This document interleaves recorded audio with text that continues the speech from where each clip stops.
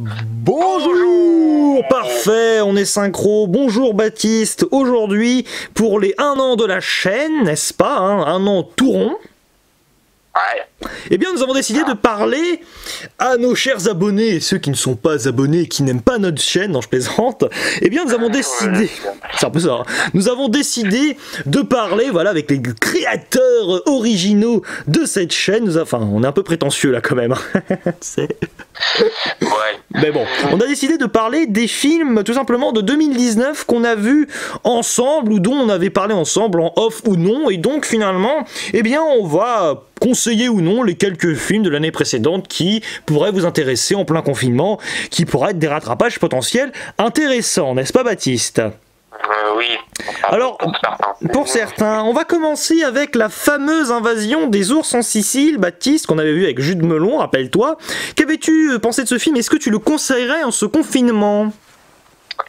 Alors oui, ça avait été un bon film, surtout avec la fameuse invasion, parce que c'était moi qui avais l'idée d'aller le voir. hein. Ah oui, évidemment, Baptiste, c'est le meilleur.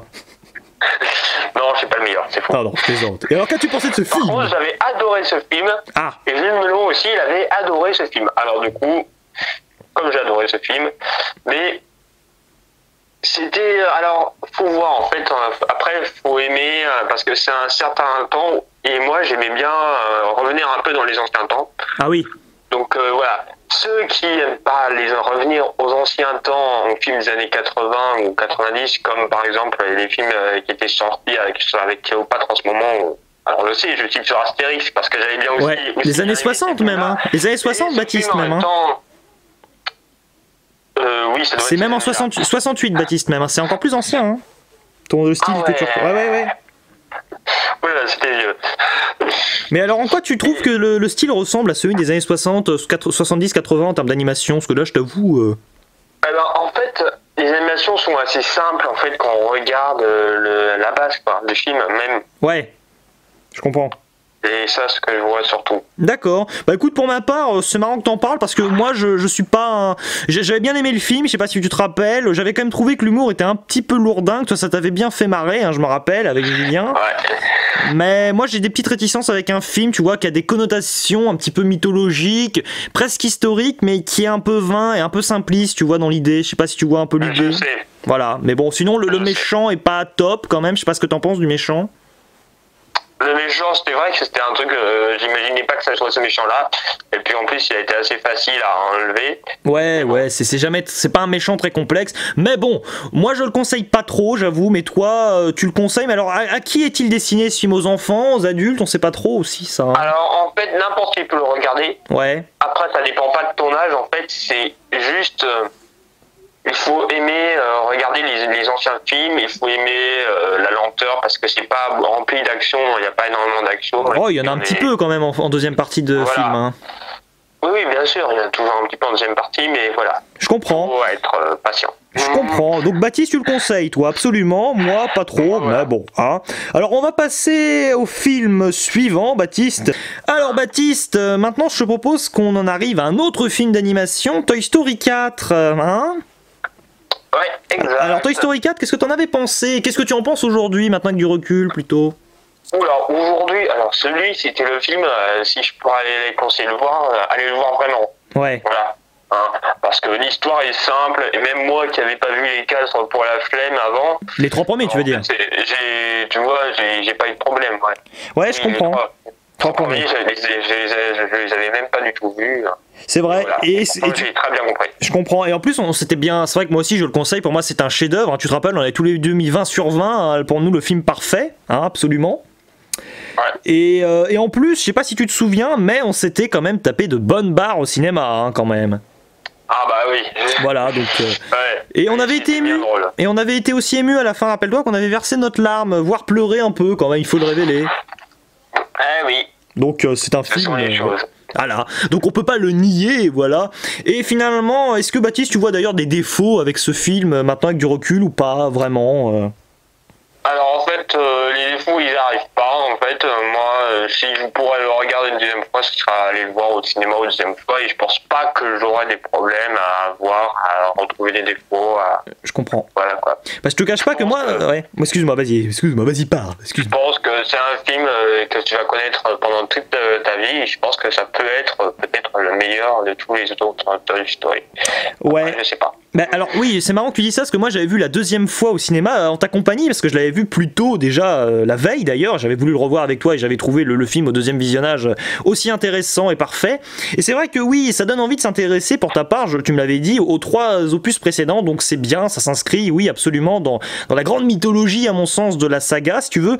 Et euh, ouais, je pense que Toy Story 4 c'est peut-être ouais bon avec le 1 et le 3 quand même, c'est vraiment un Toy Story idéal. Le 2 est un petit peu en dessous, mais quand tu les verras, tu me diras ce que tu en penses.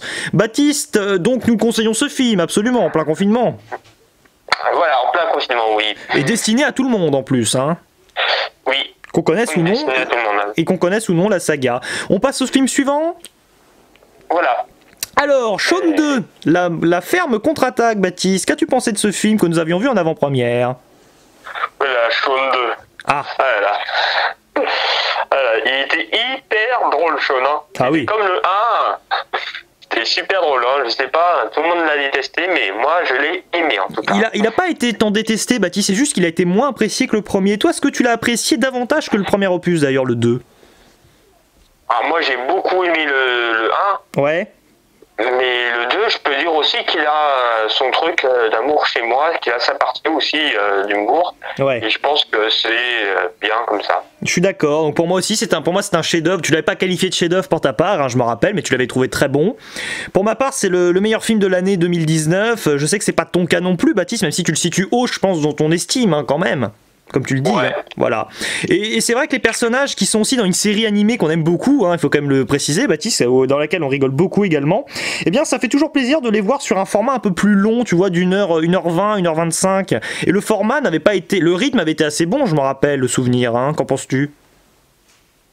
Bien évidemment, il avait été assez bon comme souvenir. Voilà, J'ai exactement. un bon souvenir de ce film, on va dire plutôt. Et l'animation était encore en progression. Je sais pas ce que tu en avais pensé.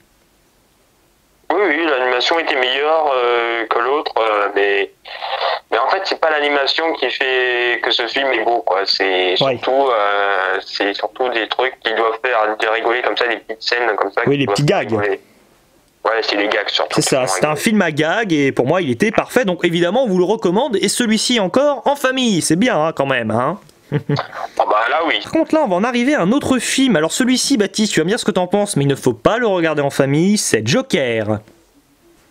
Eh oui. Faut pas le regarder avec les petits quoi, et les, les âmes sensibles on va dire. Hein.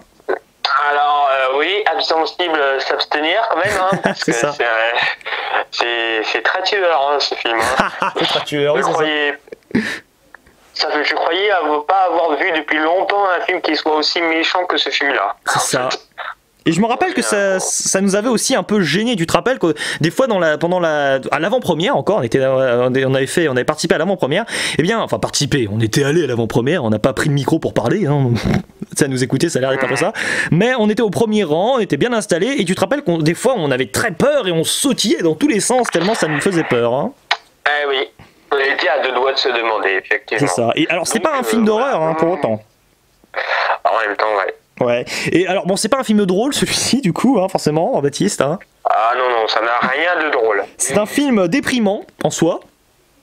Ouais. Et tu te rappelles que quand on était sorti de la salle, on était devenu un petit peu taré, hein, voilà, on était un peu toc toc à crier de enfin à crier ha ha ha dans la rue, tu vois, comme tous les gens qui sortaient d'ailleurs, ils étaient tous un petit peu, un petit peu fous. Et fait incroyable, rappelle-toi Baptiste, que les gens applaudissaient dans la salle. Est-ce que tu avais déjà vu ça d'ailleurs, toi, dans une, à la fin d'une séance? Alors, euh, ça faisait depuis très longtemps en fait qu'on n'a pas vu ça. Ouais. Déjà, j'étais assez étonné qu'on a pris dans la salle, mais bon, c'était c'était pas si étonnant en soi parce qu'après c'était les fans qui étaient là du, film. Enfin ils, ils, pouvaient pas encore être fans du film mais ils étaient fans du personnage. Le film et c'est vrai il est, il est génial. Il est, il est, pour moi il est parfait presque hein. enfin même pas presque il est parfait mais euh, pour moi il fait partie des panthéons tu vois des grands films c'est pas un film de super héros d'ailleurs en fait hein. d'ailleurs c'est un point important je sais pas ce que t'en penses on l'a souvent catalogué comme tel avant qu'il ne sorte mais c'est pas vraiment ça c'est un film psychologique plus oui, c'est pour ça un peu que ça m'a ennuyé un peu et c'est pour ça aussi que je me disais, euh, voilà.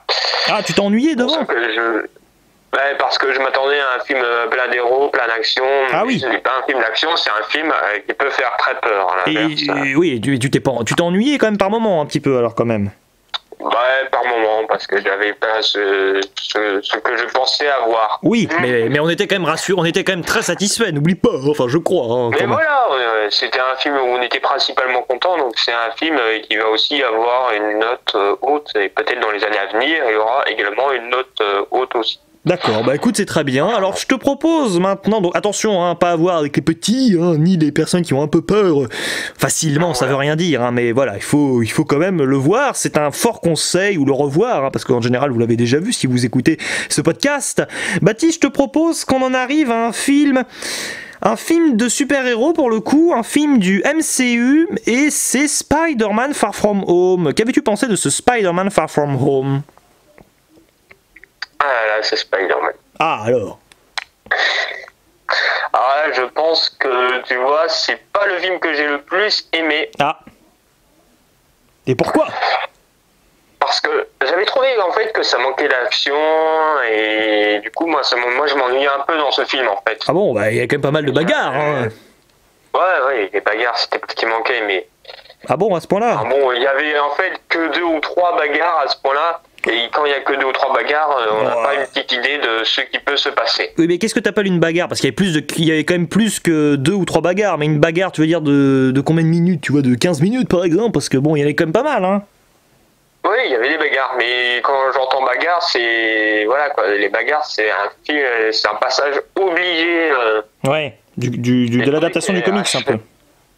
Et à chaque bagarre que je faisais, or, c'était raté. D'accord. Ah oui, tu veux dire qu'il y a deux bagarres. Je réussissais pas à, à rentrer dans le film, à me dire ah euh, ça, ça peut être bien, ça, ça peut être voilà. D'accord, bon, t'es pas très fan, donc en gros, t'as aimé que deux trois bagarres, si j'ai bien compris. C'est pas que t'en as trouvé qu'il y en Oui. avait. Ouais, d'accord. C'est pas qu'il y en avait que deux Voilà, ou trois, parce j'ai- qu'il y en a plus quand même. Hein. J'ai bien aimé le climax et Ouais. peut-être beaucoup d'autres. Je t'ai dit, il a, il a quand même pas une place euh, énorme, mais il est quand même une bonne, dans, une, dans une bonne place. D'accord, ok. Et alors, petite question, parce qu'il y a de la bagarre, mais le reste t'avait bien plu L'intrigue un peu amoureuse euh, de d'adolescents, euh, non euh L'intrigue, ah ben, l'intrigue d'adolescent, ça peut être intéressant, mais moi je suis pas particulièrement accroché. D'accord, bon, bah, c'est pas grave. Alors, bon, Baptiste, tu le conseilles pas. Enfin, tu le conseilles un peu, on va dire, si j'ai bien compris, hein? C'est pas le film que je conseille le plus souvent. D'accord, bah tu. D'accord, bon, je comprends. Bah écoute, moi je suis pas d'accord, hein, j'ai trouvé que c'était vraiment l'un des meilleurs films de, de l'année 2019. C'est pour moi le, le meilleur film de super-héros euh, et le meilleur film du MCU. La bagarre, je l'ai trouvé vraiment euh, doté d'une réalisation euh, assez, assez incroyable quand même. Et au-delà de la bagarre, moi j'ai adoré ces, ces caractéristiques de personnages parce que. Est-ce que tu avais vu Spider-Man Homecoming, le, le- le film précédent avec les mêmes acteurs? Sais, avec le vautour Ah oui, je l'avais vu le film euh, Spider-Man Coming avec le vautour, tu te souviens Voilà. pas? Oui, oui, mais alors, est-ce que- oui, bah, je parce que je l'avais pas du tout aimé par rapport, tu vois, à cette suite. Et toi, est-ce que tu avais aimé euh, Homecoming pour le coup?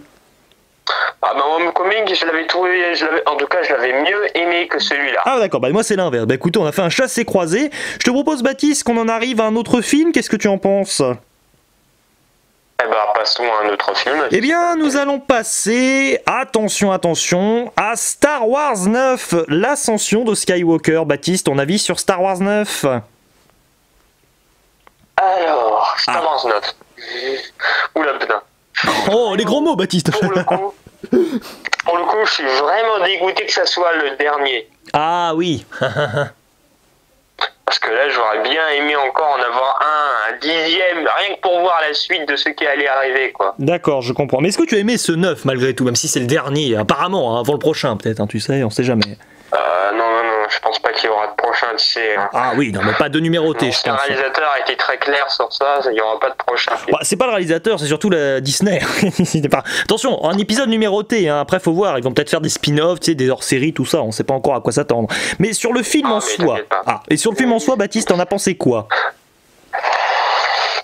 Alors, le film en soi, je l'ai bien aimé, puisque c'est un film qui reprend euh, d'anciennes versions que je connaissais déjà à l'époque, Ouais. Et où il y avait eu déjà cette histoire de vie. Oui, avec euh, ça ressemble beaucoup à Star Wars 9, à Star Wars 6 par exemple, euh, souvent, c'est ce qui est un peu ressorti d'ailleurs. Oui, ça ressemble à Star Wars 6. Heureusement, cette fois-ci, on n'a pas eu l'ancien euh, qui rencontre le tout nouveau. C'est-à-dire l'ancien qui rencontre le tout nouveau C'est-à-dire euh, celui qui est tout nouveau, qui connaît rien du tout de Ah la oui. technologie. Et, Ouais, comme et Luc, voilà, quoi. c'est ça Oui, comme Luc, par exemple, quand il rencontre les petites bêtes. euh, Ah oui, les Ewoks. Ah oui, les Ewoks, oui, non, les non, il faut les bannir. D'ailleurs, on les voit à la fin du 9, les Ewoks. Ah oui. Ouais, bon. il passe très peu de temps, euh, heureusement, parce que sinon, je pense que j'aurais Oui, t'aurais crié, comme on dit. Oui, et puis surtout que bon, les Ewoks, c'est vrai que ça, ça nous avait gavé euh, déjà dans Star Wars 6 pour notre part. hein. On sait que Captain Critique, par exemple, est très attaché à ces petites créatures, mais pour notre part, non, on préfère presque les porgs. Et d'ailleurs, je me rappelle que tu étais très satisfait, Baptiste, aussi avec le 9, parce que tu n'avais pas été très fan de la démarche du 8, tu te rappelles, de Ryan Johnson. Le, le Star Wars 8 t'avait un peu dégoûté, je me rappelle quand même. Un peu Eh oui, parce que ça manquait tout simplement d'action. Ouais. aussi, euh, on était parti sur un truc, euh, voilà, où il faut être patient, et moi, je ne suis pas patient. Bah, C'est sûr que Star Wars 9, on va pas spoiler Star Wars 9, mais là, il n'y a, pas besoin d'être patient, il ne faut pas l'être, parce que dès le début, ça commence tambour battant, quoi. C'est la bagarre, quoi, tout le ça. temps, voilà. Même s'il y a une histoire c'est autour. hein. Ouais. C'est- c'est tout se déroule très vite, donc du coup, on y perd un peu, mais c'est un truc, et j'ai mieux aimé ça Ah. que le 8 où c'était un peu trop lent. Et t'avais préféré le 9 au 7 ou pas d'ailleurs? Tu sais, le 7, je ne sais pas. hein. Oh, le 7, euh, il était. Tu vois, si j'aurais fait un. Si j'avais, Baptiste, parle bien français. Si, si j'avais fait ici même, euh, je ferais un, un top des trois derniers films de Star Wars qui sont sortis, c'est-à-dire le 7, le 8 et le 9. Ouais.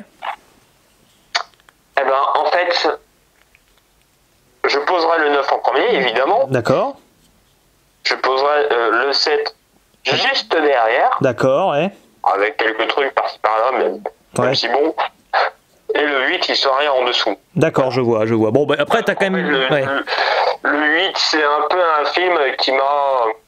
que j'ai pas tellement aimé Ouais. et où j'ai trouvé que ça a manqué clairement d'action. Ah bah on n'est pas d'accord, mais c'est pas grave, on en reparlera peut-être un jour, qui sait. Moi j'ai adoré le 9, la première fois, je te rappelle, Baptiste, j'avais été déçu, on était ensemble au cinéma, j'étais dégoûté, je sais pas si tu te souviens. Eh. Je l'ai revu euh, au cinéma trois fois et finalement je, suis d'accord pour dire que. Enfin d'accord, je, suis moi-même avec ma conscience en train de me dire que c'est un grand film. Alors il y a du fan service pour les. Enfin voilà, c'est sûr que nous qui aimons Star Wars, ben, on est content, mais en même temps il y a vraiment, je trouve, un esprit épique, une volonté de conclure une saga. C'est pas parfait, mais c'est pour moi vraiment excellent et c'est presque au niveau du 7 et du 8. Pour moi, je place le 9 un petit peu en dessous du 7 et du 8 quand même, et le 8 pour moi est vraiment très bon. Mais ce n'est pas grave qu'on ne soit pas d'accord. Donc Baptiste, je pense qu'on peut dire qu'on conseille largement Star Wars 9, hein, le revisionnage ou la découverte en tout cas. hein. Oui. Et voilà, bon évidemment, oui, faut que- le Ouais. revisionnage, on peut dire que ce, ce film peut être acheté. hein. Voilà. Par contre, faut, faut Il voir les films précédents parce que si... ah Baptiste, faut quand même voir les films précédents parce que sinon on est perdu. faut préciser ça. Voilà, parce que sinon on va rien y comprendre. toi. Voilà, c'est ça. Alors Baptiste, tu- sur Ah, le. Toy Story 4, on n'était pas obligé de voir les films précédents, on peut direct acheter le Toy. Story 4 comme. Par contre, euh, tu vois, moi, euh, voilà. Tu es d'accord, je suis d'accord. Alors Baptiste, je te propose. Ah, bah, Wars, Baptiste, n'arrête pas de parler de Star Wars. Non, je plaisante. hein, Vas-y. Oui, oui, mais c'est le truc, t'étais lancé sur ça en même temps. Oui, oui, c'est vrai, j'avoue, j'avoue. Alors, Voilà, c'est des propositions de films comme ça, on les prend un peu aléatoirement, comme que ça vient. Alors Baptiste, ensuite, en 2019, on a vu un film. Rappelle-toi, on l'a vu au cinéma ensemble, tu t'endormais même sur ta banquette, tu t'étais à moitié de ton cassé la figure et t'avais failli perdre ton téléphone en partant. C'est pas une blague. Once Upon a Time in Hollywood de Quentin Tarantino. Alors, ton avis? Alors, mon avis, c'est que ça a été un très bon film. Ouais. Hein. J'ai dit. Je l'ai pas totalement aimé, mais j'ai quand même Ouais. trouvé des belles choses dedans. Donc euh, là, je peux concéder d'y aller. Mais encore, ce sont pour d'autres raisons que Toy Story 4. Ah oui, alors pour quelle raison t'as aimé ce film Par exemple, c'est pas pour les longueurs, hein, parce qu'on avait quand même trouvé le film un peu long, hein, malgré- malheureusement. Oui, hein. effectivement, moi-même, euh, le, le film il était un peu long et puis il y avait des idées qui n'étaient pas cela. Ouais. Mais alors les points positifs de cette œuvre, Baptiste, quand même, parce qu'on va rester sur le positif, on a quand même adoré ce film, hein, ce Quentin Tarantino, cette découverte de ce réalisateur. Et alors, est-ce que t'avais aimé, je me rappelle, est-ce que on avait adoré le final où on était mort de rire parce que ça partait dans un, dans un combat un peu, euh, un peu par, enfin pas parodique, mais on sentait qu'il y avait une patte et c'est la patte Quentin Tarantino. Hein. ouais, exact. C'est la ouais. patte Quentin euh, et Tarantino à la fois. Ah oui, non, mais Baptiste, c'est Quentin Tarantino, c'est pas Quentin et Tarantino. Non, mais je voulais juste voir si t'étais bien. Oui, tu parles, oui, Baptiste, il connaît pas très bien le cinéma, non, je on est vache. non, je plaisante. Et euh, très bien. Et alors, du coup, euh, ce film, euh, voilà, moi aussi j'avais beaucoup apprécié. Il fait partie de mes 15-16 films de, de l'année 2019. Voilà, en termes de qualité, été très, très impressionné. Les acteurs sont excellents, hein, quand même. Brad Pitt, on a également DiCaprio et Margot Robbie, voilà, qui étaient vraiment, au, eh bien, tout simplement, euh, un niveau de performance assez, assez impressionnant, quand même. Je pense qu'on est d'accord pour le dire. Je sais pas ce que tu en penses, Baptiste, hein, mais oui, c'est, oui d'ailleurs, les acteurs étaient très bien Ouais. aussi. Hein. C'est vrai. Oui. moi, ce qui m'a déplu un peu, c'est toujours un peu le montage euh, et toujours Ah. l'idée de poser des longs trucs et tout ça. Et ça, à la fin, j'ai trouvé ça un peu ennuyant. Ah, T'as pas trop aimé les plans séquences. fin, hein. Ça a été un peu facile pour moi euh, que je me remette dans le film, euh, que je. que voilà. Oui, c'est un film peut-être un petit peu où t'as senti les grosses ficelles parfois euh, qui pouvaient arriver, quoi. Voilà. C'est un film qui est un peu défectueux par moment, mais malgré tout, ça reste très bon. Donc, euh, petit coucou au cinéage de Banzai. Baptiste, je te propose que nous passions à Avengers Endgame. Avengers 4, ton avis? Haha. Ah là là, ce Avengers. ah. Ce Avengers que j'ai descendu. ah oui, c'est vrai que tu l'aimes pas, toi. C'est vrai, j'avais oublié en plus. Ah bah toi, t'as pas oublié alors. Euh, alors, qu'est-ce que tu penses de cet Avengers? Alors autant le Avengers 1, je l'avais bien aimé, Oui. Autant l'Avengers Endgame, là, un film. Alors déjà, Oui. sur son fait, je veux bien être d'accord pour tout le monde il batte même le record. Oui, bah ça c'est vrai. Il a, il a le, le premier au box-office. Hein. hein. Oui, mais après, en termes de qualité, tu l'as pas trouvé au rendez-vous, quoi. Ah non, je l'ai pas tellement aimé. Hein. Et pourquoi? Je sais que c'est un blockbuster, que c'est un film d'action qui a été long à Ouais. attendre d'ailleurs.